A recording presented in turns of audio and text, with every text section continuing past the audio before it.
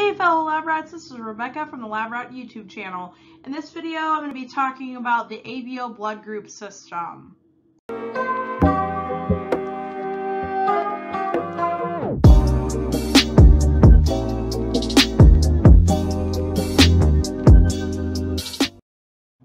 The ABO blood group system is the most important of all of the blood group systems in all of blood bank.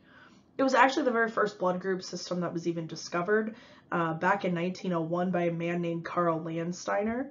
And Landsteiner drew his own blood as well as the blood of a few colleagues, separated the red blood cells from the serum, and began mixing various red blood cells with various serum samples. So this was the first documentation of any type of blood typing. So with these, he was able to discover the A, B, and O blood types, the group AB blood type was discovered by a couple of uh, Landsteiner's colleagues about a year later. Just as a note, these blood bank lectures are going to be focusing a lot on antigens and antibodies, so it's critical to understand what these terms mean. So I recommend reviewing immunology uh, before listening to this lecture. You can do that by checking out another one of my lecture videos called Immunology for Blood Bankers, which I will uh, provide a link in the description of this video. So go ahead and watch that if you haven't already. So in short, genetics determine what antigens are going to be present on the surface of the red blood cell. And if a patient is exposed to a foreign red blood cell antigen via blood transfusion or a pregnancy, the body's immune system can recognize this antigen as foreign and develop an antibody that is specific for that antigen. So that's actually all the blood bank is about. Um, so antigens and antibody interactions. So let's get back to the ABO blood group system.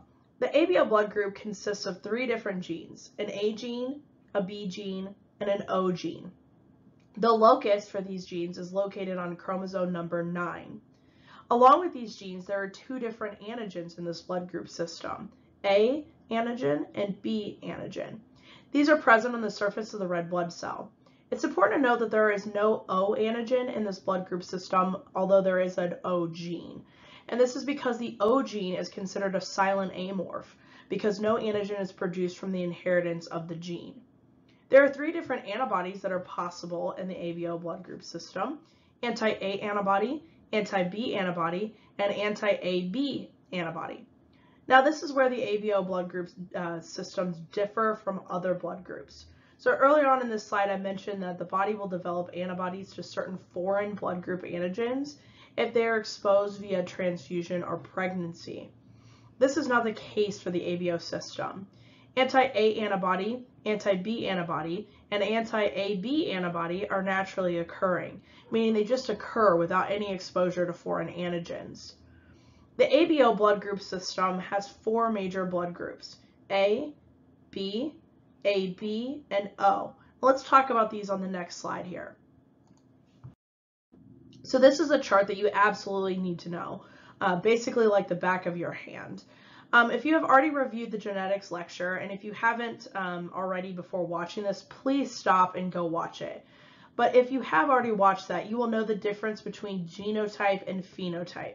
So genotype is the person's actual genetic makeup, so the genes that they have inherited from their parents. The phenotype is the outward expression of those genes. So in this case, the patient's blood type. So if they are, are uh, an O or A or B or AB, so that's their phenotype. I have the ABO blood group uh, systems phenotypes listed on the left-hand side of uh, side of this table. And in the second column is their possible phenotypes. Then in the third column, their ABO antigens that are present on the red blood cells. And then lastly, in the final column is the corresponding naturally occurring antibodies. So for O blood group patients, so this is in the first uh, row here, uh, their genotype is always going to be O slash O or OO, meaning they inherited a, an O gene from each parent. Um, they have no ABO antigens present on their red blood cells because, again, O is a silent amorph. They do have anti-A and anti-B uh, antibodies present in their serum. So this means if an O blood type person receives blood from an A blood type person, their anti-A antibodies in their serum will react with the A antigens present on the A blood type donor and agglutinate, causing a transfusion reaction. This would be the same if an O blood type person receives blood from a B blood type person. their anti-B antibodies in their serum will react with the B antigens present on the blood, uh, the B blood type donor and agglutinate causing a transfusion reaction.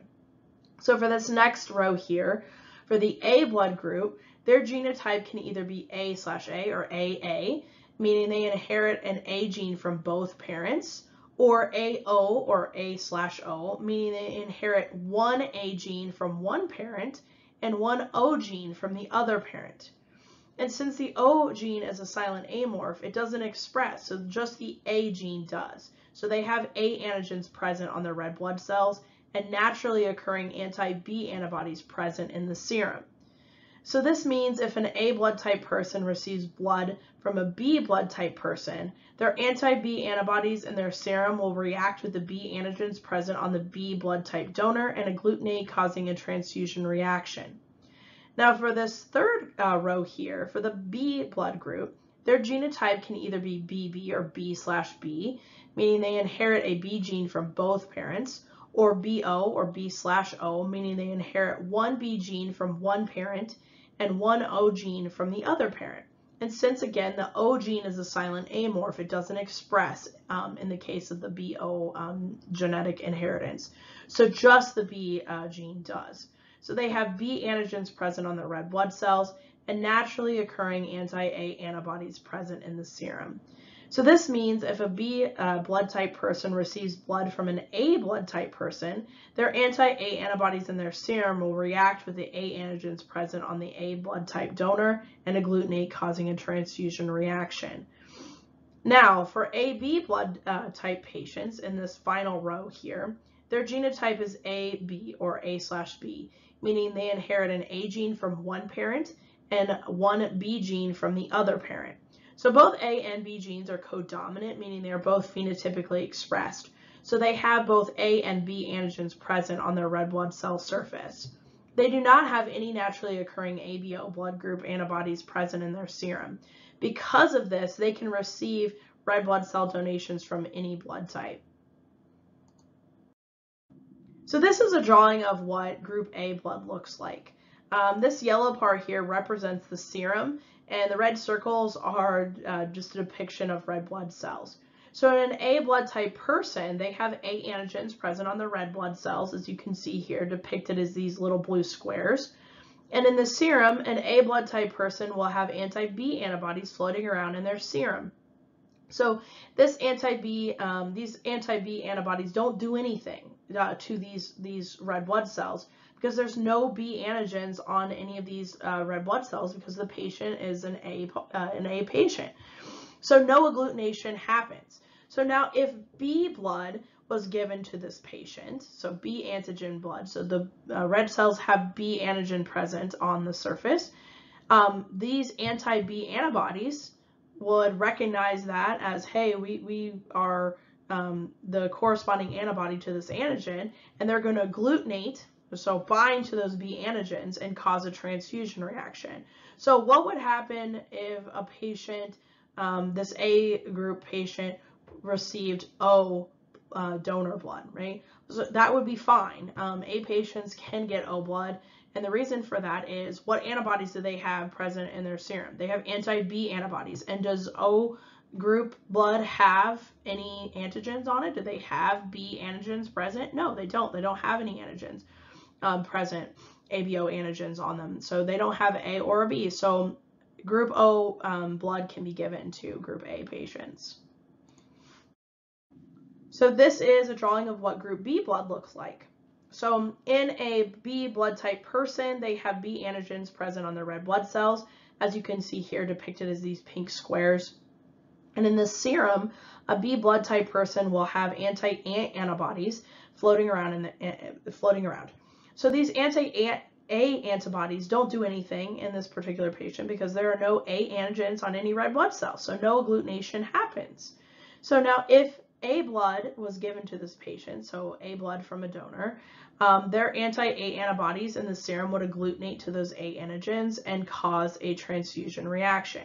So again, let's talk about it. So they could get, B blood could get other B blood, right? That would be fine because there's no corresponding antibody. So this patient has anti-A antibodies that are naturally occurring in their serum.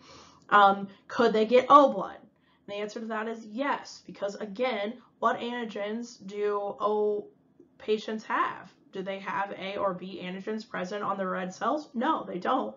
So um, these anti-A antibodies are going to do nothing to those uh, O um, those O red blood cells. So uh, B patients can get B blood and they can also get O blood. So this is a drawing of what group AB blood looks like. In an AB blood type person, they have both A and B antigens present on their red blood cells, as you can see here depicted as these pink and blue squares. And in the serum, an AB blood type person will have um, no naturally occurring antibodies. And because of this, they can receive any blood type, um, any blood type uh, donations. So they can receive A blood, right? And why can they do that? Because there's no antibodies towards anti-A, right? They can receive B blood. And why is that? Because there's no antibodies for, there's no anti-B antibodies um, in the serum of an AB uh, patient. Can they receive AB blood? Absolutely they can because again, there's no naturally occurring antibodies. So there's no A or B antibodies present.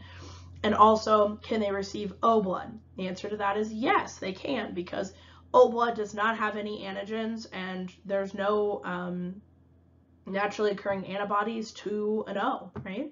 Um, so uh, A blood, AB blood can and can get any um, uh, red blood cell.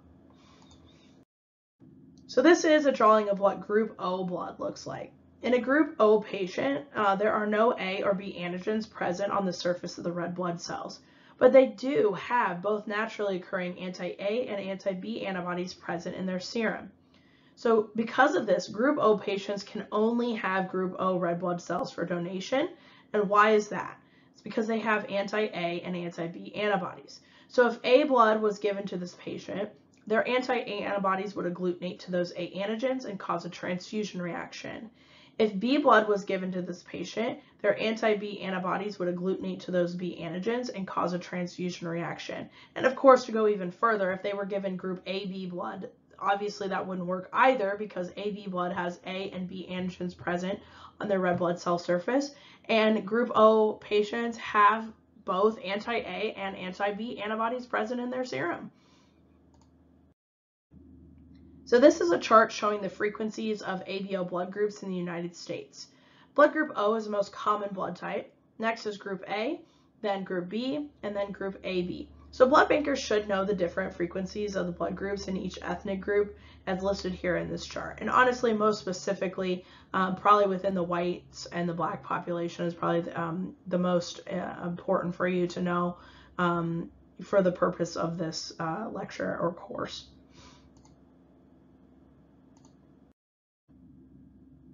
So again, antibodies in the ABO blood group system are naturally occurring. They are initiated at birth, but are not detectable in the serum until around three to six months of age. Um, they also do decline with age as well. So in elderly patients, anti-A and anti-B antibodies may also uh, become weaker or uh, could not, uh, may not be able to be detected in the serum. And we'll talk about this a little later on in this lecture. Antibodies in the ABO blood group are generally IgM and they activate complement. So they react at room temperature and generally give strong reactions of 4 plus during ABO testing. ABO antibodies can be IgG um, and they can only cross the placenta if they are um, this IgG antibody class, but predominantly they are IgM. So the most important test in the blood bank is ABO testing or ABO typing. The ABO typing procedure includes both forward grouping and reverse grouping. Forward grouping, or uh, front typing or forward typing, involves testing the patient's red blood cells with known reagent antisera. The known antisera contains either anti-A antibodies, anti-B antibodies, and there's also an antisera with anti-AB antibodies, although that's not used routinely. The reverse grouping or back typing is testing a patient's serum or plasma with known A red blood cells and known B red blood cells to determine what ABO antibodies are present. I have a separate video showing the ABO testing procedure in detail. Please go check that video out. I will leave the link to it below. This is a general overview of the procedure. So the forward blood typing or front typing procedure is testing a patient's red blood cells with known reagent and a antisera. The picture on the left-hand side of this slide shows the antisera that we use in the blood bank for ABO forward or front typing. The reagent in the blue vial contains anti-A antibodies. The yellow vial contains anti-B antibodies. The clear reagent contains anti-D antibodies. They will always be these specific colors to avoid confusion or um, ABO mistyping. For the front type procedure, you will need three tubes. The tubes should be labeled with the patient's information and also labeled with whatever reagent is going in them. So either anti-A, anti-B, or anti-D. One drop of a patient's 2 to 5% red, um, red blood cell suspension goes into the first tube. I reviewed how to make a red blood cell suspension in the ABO testing procedure video. Um, so one drop of that suspension and one drop of the anti-A and antisera reagent go in the first tube. The second tube should be labeled with patient identification and anti-B. One drop of the patient's red cell suspension and one drop of the anti-B antisera should be put into this tube. In the third tube, labeled with patient identifiers and anti-D, one drop of the patient's red cell suspension and one drop of the anti-D antisera should go in it.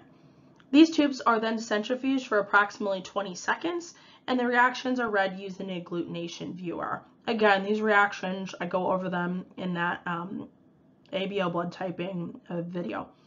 If a patient has A antigens present on their red blood cell, there will be agglutination in the first tube because the antisera's anti-A antibodies bind and agglutinate those A antigens. If a patient has B antigens present on their red blood cell, there will be agglutination in the second tube because the antisera's anti-B antibodies bind and agglutinate those B antigens. The anti-D is used to determine a patient's RH status. So anti-D is part of the RH blood group system, which I will discuss in a later presentation on the RH blood group system. So if a patient is Rh positive, there will be agglutination in this third tube. If there's no agglutination in a tube in this type, this means that the patient is lacking that specific antigen. The reverse grouping or back typing is also a part of the ABO blood typing procedure. This is where the patient's serum or plasma is mixed with red cells that have known A antigen and known B antigen on them. This is used to determine what ABO antibodies are present in their serum or plasma. The picture on the left-hand side of the slide shows the reagents used for this typing. The reagent labeled A1 contains red blood cells that have A antigen on them. The first tube should be labeled with patient identification and A1 cells written on it. One drop of this A1 reagent goes in the first tube, along with two drops of the patient's serum or plasma. The reagent labeled B contains red blood cells with B antigens present on them. The second tube should be labeled with patient identification and have B cells written on it. One drop of this B reagent goes into the second tube, along with two drops of the patient's serum or plasma. Then these tubes should be centrifuged for approximately 20 seconds. If the patient's serum or plasma contains anti-A antibodies, the tube with the A1 cell reagent should agglutinate because these cells contain A antigen on them.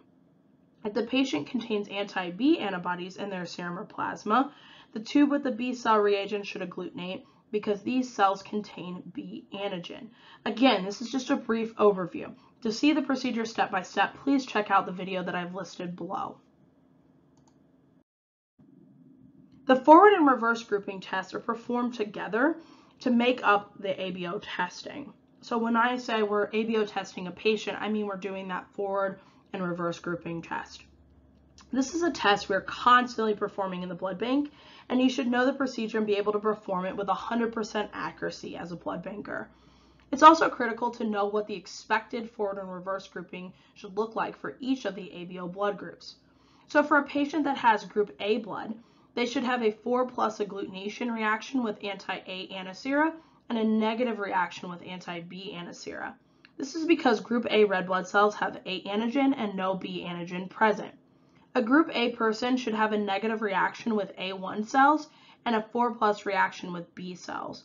This is because they should not have any anti-A antibodies in their serum or plasma and should have anti-B antibodies present in their serum or plasma. Group B patients should have a negative reaction with anti-A antisera and a 4 plus reaction with anti-B because they do not have A antigen present on their red blood cells and they do have B antigen present on those red blood cells. Group B patients should have a 4 plus reaction with A1 cells and a negative reaction with B cells. And this is because they should have anti-A antibodies in their serum or plasma and should not have any anti-B antibodies present. Group AB patients should have a 4 plus reaction with both the anti-A and anti-B antisera.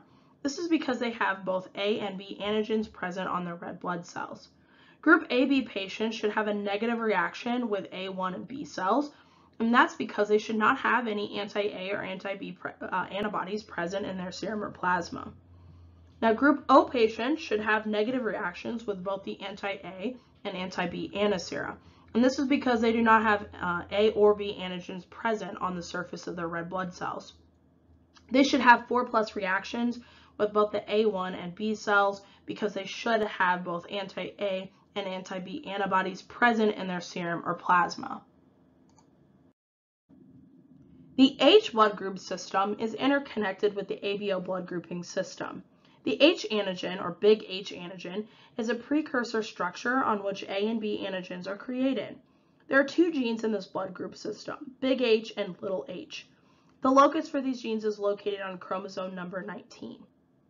When someone inherits a big H gene from one of their parents, this results in the formation of the big H antigen.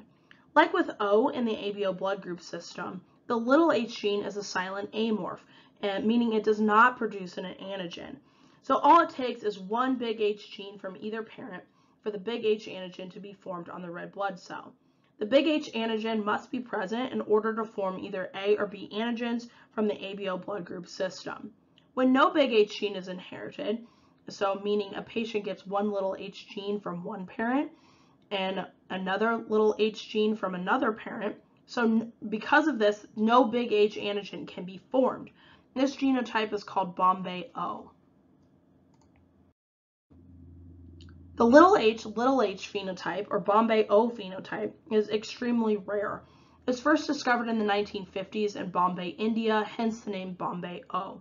In people with this blood type, no big H antigen can be produced because no big H gene is inherited. This prevents the formation of A or B antigens uh, uh, on the red blood cell, um, so the patient will type as an O patient. The serum in patients with Bombay O phenotype have a naturally occurring anti-big H antibody. So why is this significant?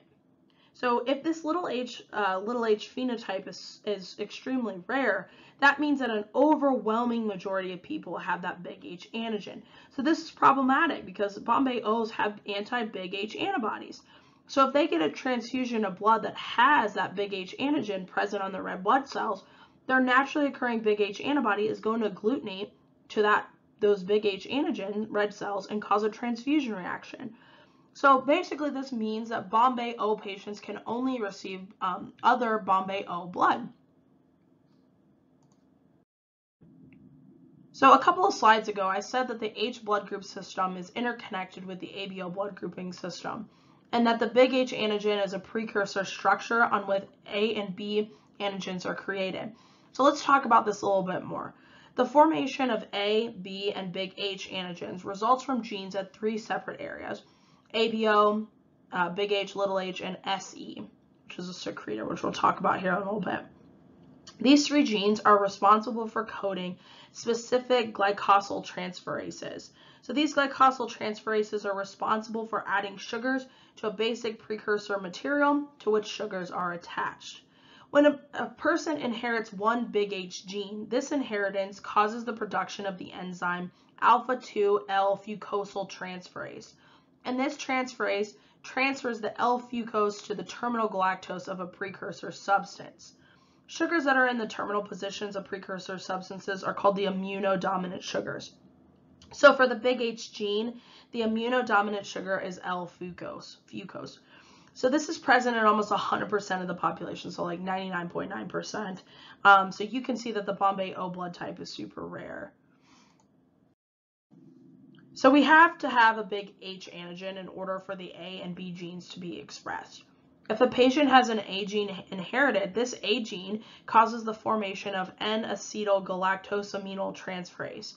And this is responsible for adding the N-acetylgalactosamine sugar to the big H substance on the surface of the red blood cell. And basically what this means is this sugar is responsible for the expression of A. So you have to have big H in order to properly express A or B uh, genes to, to form A and B antigens. If a patient has a B gene inherited, this B gene causes the formation of D-galactosyl transferase. And this D-galactosyl transferase is, um, is responsible for attaching the sugar D-galactose to the H substance. This sugar is responsible for the expression of B. So I included in this chart that gives kind of a summation of what is important to know here. So you need to memorize the gene and what glycosyl transferase that it encodes for, as well as the corresponding immunodominant sugar. Um, so remember, the big H gene must be inherited in order for A or B antigens to um, be expressed. There are two types of precursor substances that convert um, to um, be that can be converted to big H substance and the A or B antigens. So the type 2 is found on the surface of the red blood cells, and the N-acetylglucosamine has a beta-1,4 linkage. Type 1s are soluble and are found in plasma and body fluids. The terminal galactose on type 1 precursor substances is attached to the N-acetylglucosamine in a beta-1,3 linkage. The O gene does not produce a transferase. The A gene tends to have a higher concentration of transferase in comparison to the B gene. So this leads to the conversion of practically all of the H antigen on the red blood cell surface to the A1 antigen sites on the surface of the red blood cell.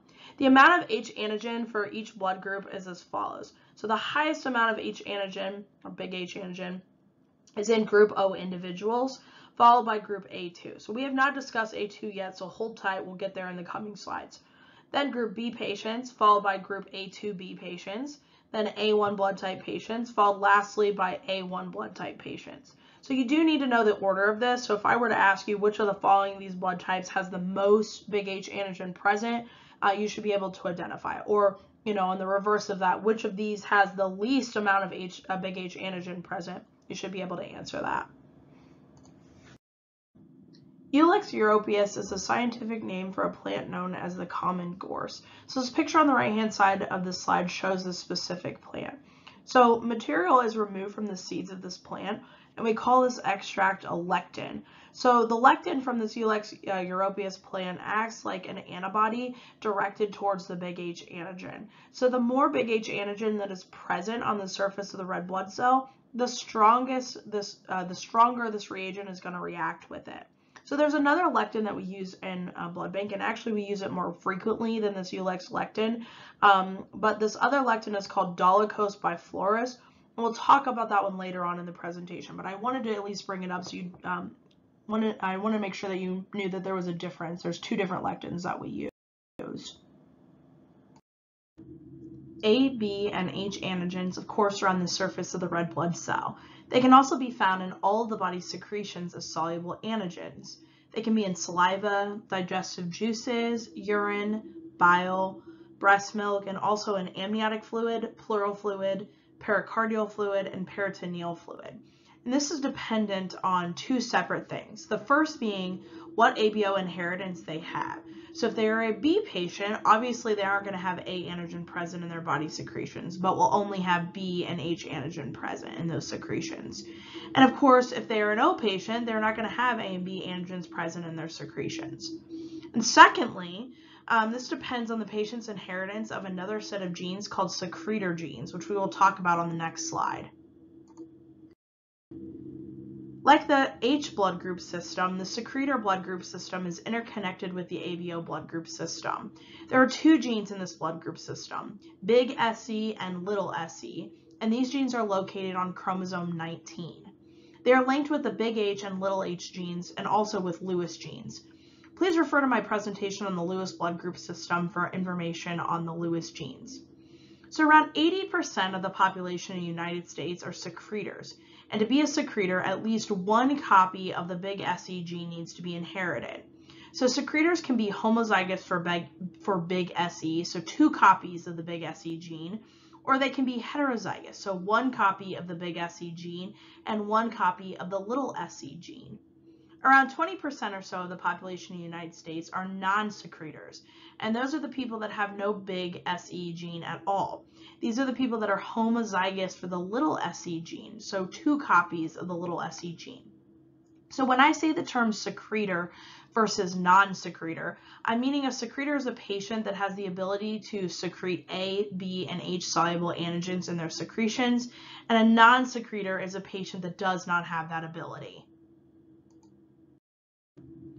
The secretor system regulates the formation of the big H antigen, and since the big H antigen is responsible for the expression of A and B antigens, the secretor system subsequently regulates A and B antigens and secretions.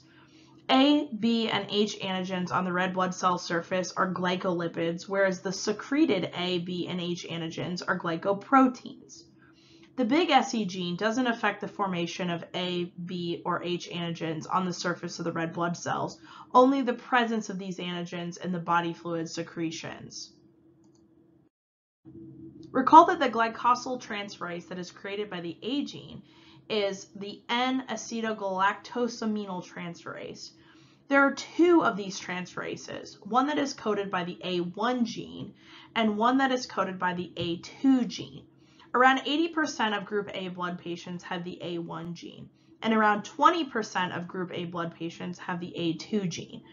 There are other uh, rare subgroups of A, but we deal primarily with these two, A1 and A2. This chart shows how the A subgroups react.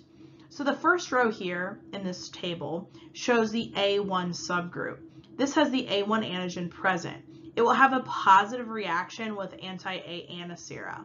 The second column shows the A2 subgroup, which has the A antigen present. Just like the A1 subgroup, the A2 subgroup will also have a positive reaction with anti-A antisera. And how they differ is their reaction to anti-A1 lectin. Anti-A1 lectin has another name, and you've heard it before. Remember the term dolichos biflorus? So this is anti-A1 lectin. So this lectin helps us determine between A1 and A2 subgroups. An A1 subgroup patient is going to have a positive reaction with dolichos biflorus, and an A2 subgroup is going to have a negative reaction. So what I'm talking about here is here. So the reaction with anti-A1 lectin. So A1 is going to have a positive reaction and A2 is going to have a negative reaction. So that's how we determine between the two. There are some subgroups of A that are weaker than A2, but these are very infrequent, accounting for less than 1 percentage of group A patients. And some of these patients may also form um, anti-A1 antibodies. Like with A subgroups, weak B subgroups exist as well. However, they're very rare and less frequent than the A subgroups are. So these subgroups do have clinical significance. So let's say for an example, um, a patient came into the blood bank and got an ABO blood type and they had a subgroup that was not properly identified. They'd be probably listed as an O blood patient, which of course is inaccurate. Now, if they were needing a blood transfusion, they would be given O donor blood. And this would have minimal consequences because O doesn't have any A or B antigens present, um, so it would not react. Now let's say a person comes in and donates their blood and they have a subgroup that was improperly identified. So their blood uh, would be listed incorrectly as an O blood group. And that O blood group could be given to an O blood group patient, and this would cause a transfusion reaction. So my point here is that mistypes can cause transfusion reactions. So it's critical that each patient is correctly ABO typed every single time that they come into the blood bank. Now, an ABO discrepancy is when the expected positive and negative reactions are not observed in the forward grouping and reverse grouping. There are four main types of ABO typing discrepancies. So this is just an example of what we're talking about, this, this little chart here, this table here. As you can see in this chart, the patient has a 4 plus reaction with anti-A antisera and a negative reaction with anti-B antisera. This um, is a result that is expected of an A patient. Um, so what I'm saying here is these results here, anti-A and anti-B results are um, suggestive of an A patient. So now let's look at the back type of this patient. What should be the results here? An A patient should have a negative reaction with A1 cells here um, and a 4 plus reaction with B cells. But this patient has a negative reaction in both the A1 and the B cell. So this is an ABO discrepancies. This front type is not me um, meshing or um, corresponding correctly with the back type. Um, so this is, again, this is an ABO discrepancy. Um, and you can't result out the patient's blood type on it because it's it's incorrect. There, there's a discrepancy here. So we're going to be talking about these different kinds of discrepancies in the next coming slides. So group one discrepancies are those that have unexpected reactions in the back type. So unexpected reactions with the A1 and B cells. This is due to either weakly reacting or missing antibodies. Group 1 discrepancies are the most common of ABO discrepancies. So this example in this chart here shows a group 1 ABO discrepancy. So the patient has a negative reaction uh, with anti-A antisera as well as with anti-B antisera. So here's the negative reaction in anti-A and here's the negative reaction in anti-B. So um, based on these reactions, uh, we can kind of conclude that this is likely an O blood group patient. So with an O blood group patient, the back type should react strongly with 4 plus reactions. So with the A1 and B cells here, right? Um, but um, so as you can see in this example, this patient had a negative reaction with both of these cells. And this front type is not is not uh, corresponding correctly with the back type. So this is a discrepancy. Um, so these group 1 discrepancies will occur in newborns as their back type antibodies are not detectable until 3 to 6 months of age. This can also be seen in patients that are immunocompromised. So those, those are people that have certain cancers or those that are immuno on immunosuppressive drugs or just immunosuppressed in general. Uh, group 1 discrepancies also uh, can occur in the elderly population where the ABO antibody production is just decreased. Uh, patients with chimerism, so the presence of two cell populations can have this discrepancy as well. Um, and this uh, phenomenon can occur from bone marrow transplants. So now that we've talked about group one discrepancies, let's talk about the resolutions for these. Because, you know, if we have these discrepancies in the blood bank, what do you do? I mean, you can't just result it out. I mean, that doesn't, that's not okay. So we need to resolve them. Um, so the patient in this particular chart has a negative reaction with anti-A antisera as well as with anti-B antisera. So here's negative reaction here and a negative reaction there. Um, so again, this is likely an O blood group patient. We can determine that by the front type. So in an O blood group patient, the back type should react strongly with 4 plus reactions. So with the A1 and B cells. But as you can see in this example, that's not happening. I completely missed that zero. so zero there and a zero there. So these are negative reactions uh, with both of the A1 and the B cells. Um, so the first thing to do with this type of discrepancy is to get a patient history. So if the patient is an infant under six months of age, this would explain the missing back type because they don't produce those uh, naturally occurring ABO antibodies yet. Um, if the patient is elderly or an immunocompromised individual, the best way to resolve the missing back type is to enhance the reactions of that missing back type. So the A1 and B cells should be incubated with the patient's serum for 15 to 30 minutes at room temperature. And after that amount of time, um, they need to be spun and the reactions graded again. If the back type is still missing after doing that, um, the A1 and B cells should be incubated with patient serum at 4 degrees Celsius for 15 to 30 minutes. Um, an auto control, meaning a drop of um, the patient's own red cell suspension and two drops of serum in a tube, as well as O cell control must also be incubated alongside the back type tubes um, for this procedure. Um, incubating at this low temperature may enhance cold agglutinins. So um, which is where the, the blood will agglutinate in the cold. So these controls are the best um, to test for those to make sure those aren't happening. Group 2 ABO discrepancies are those that have unexpected reactions in the forward or front typing due to either weakly reacting or missing antigens. These discrepancies are very uncommon, but uh, can be caused um, by either weak A or B subgroups, certain leukemias, and something called the acquired B phenomenon. The acquired B phenomenon shows weak reactions with the anti-B antisera and is uh, associated with intestinal obstruction or malignancy of the digestive tract. So in the, this example, in this little um, uh, table here on the slide, the patient has a 4 plus positive reaction um, with the uh, anti-A antisera and a weak reacting 2 plus positive with anti-B antisera in the front type. So in the back type, this patient has a negative reaction with A1 cells and a 4 plus reaction, positive reaction with B cells. So this is likely an A patient. Um, we can determine that by the front type here. Um, with an acquired B. Um, so a lot of people would say, well, why why is this not a um, pardon me, why is this not an AB patient with just uh, B cells reacting in the back type, right? And So the, the reason for that is if it's a true B person or AB person, you're not going to have this 2 plus reaction in anti-B. It's going to react pretty strongly. So ABO, ABO typing reacts very strongly. So more than likely, if it was an AB person, it would be 4 plus, 4 plus for anti-A and anti-B. So this is kind of suggestive of this acquired um, uh, B phenomenon.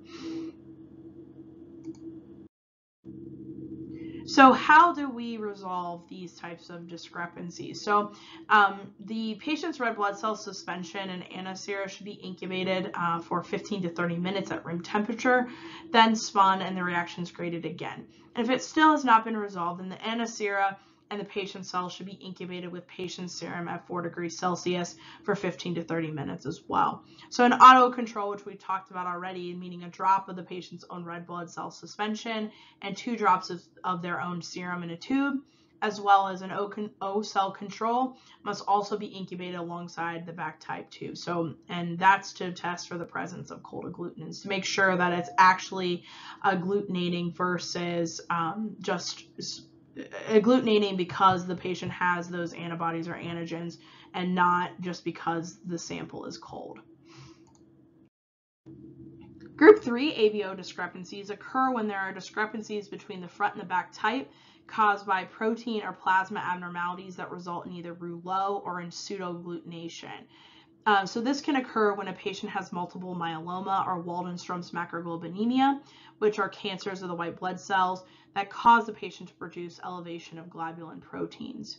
Um, if the patient has been given plasma expanders, so things like dextran, which are uh, things that are given um, via IV to provide um, volume for the circulatory system, this can cause those. Um, and this can also occur with Wharton's jelly, which is found in cord blood samples. So this jelly is a gelatinous substance that um, functions to insulate and protect the umbilical cord. So Wharton's jelly is present in cord blood samples and um, causes the sample to, to agglutinate, leading to an ABO discrepancy. So I'll talk more about this in other lectures, but Wharton's jelly is why we need to wash cells from cord blood um, to get rid of it um, because it can affect our blood typing results. So in this example, in this chart here, the patient has a 4 plus positive reaction with both the anti-A and anti-B antisera and a weak 2 plus reaction, positive reaction, with both the A1 and the B cells in the back type. So this is likely an AB patient, um, but has weakly positive reactions in the back type due to rouleau or pseudoagglutination. And again, the reason that we can determine that is that they have very strong front typing, so they have 4 plus and anti-A and anti-B, and the back type is weak. So that means there's probably an issue with um, the back type, and this is an AB patient. Um, so I included these two pictures here to kind of give you an idea of rouleau versus agglutination. So rouleau is a stacking of red blood cells. So they kind of look like coins stacked on top of each other. Um, true rouleau formation can be seen in the picture on the left-hand side of the slide. So this here is rouleau. You can see it kind of looks like red blood cells like in coins stacked on top of each other. So this is um, This is rouleau. Um, and um, this is commonly seen in patients that have multiple myeloma. Um, so the picture on the right hand side um, shows agglutination, not rouleau. And this is when the red blood cells are clumped together. So all this, this is here. This is actual agglutination. Um, you see how there's no like stacking of red blood cells like this, right? It doesn't look like that. It's just like a big clump, right? Um, so this is the difference between uh, the two. So usually uh, washing the patient's cells um, several times with saline will help to resolve group 3 ABO discrepancies. And saline replacement uh, can also be used to disperse rouleau. Um, saline replacement is uh, performed by removing the patient's serum and replacing it with an equal volume of saline. Um, if the patient has true agglutination, this will not affect it. If typing a uh, cord blood um, sample, washing six to eight times before testing will help to remove the Wharton's jelly and prevent the discrepancy from happening. Group 4 ABO discrepancies are discrepancies between the front and back types due to miscellaneous problems. Uh, um, is where the patient's red blood cells agglutinate with most uh, normal human serum. This can cause that. Uh, cold reactive autoantibodies can cause this as well. Um, these are antibodies uh, where the red blood cells are heavily coated uh, with antibody and they spontaneously agglutinate. Unexpected ABO isoagglutinins can also cause a group 4 ABO discrepancy. So an example of this would be um, in A2 and A2B individuals, so a different subgroup of A. Um, and these particular patients can just produce anti-A1 just naturally. So how do we resolve these? So um, the use of monoclonal antibodies and blood banking reagents nowadays has essentially eliminated discrepancies caused by polyagglutination. Uh, for cold reactive antibodies, um, they can be removed using um, autoabsorption um, if the patient has not been recently transfused. So this is a procedure used to remove autoantibodies from the patient's red blood cells. For unexpected ABO isoagglutinins, like when A2 and A2B blood types um, in patients produce a naturally occurring anti-A1 antibody, uh, serum grouping can be repeated with A1, A2, B cells, and O cells, and also an auto control. Um, the patient's ABO subgroup would also need to be confirmed as well to resolve this type of discrepancy. CIS-AB is when a patient inherits both A and B genes from one parent and an O gene from the other parent. So this is the inheritance of three ABO genes instead of two. Um, this causes a weakly reactive A and B antigen, so the front type will be weaker than normal. So this is also uh, an issue with uh, group 4 discrepancy. So this uh, concludes the presentation on ABO blood grouping. Uh, if you like this lecture, please remember to like this video and also subscribe to my channel. Um, and of course, if you have any questions, please leave them in the comments section.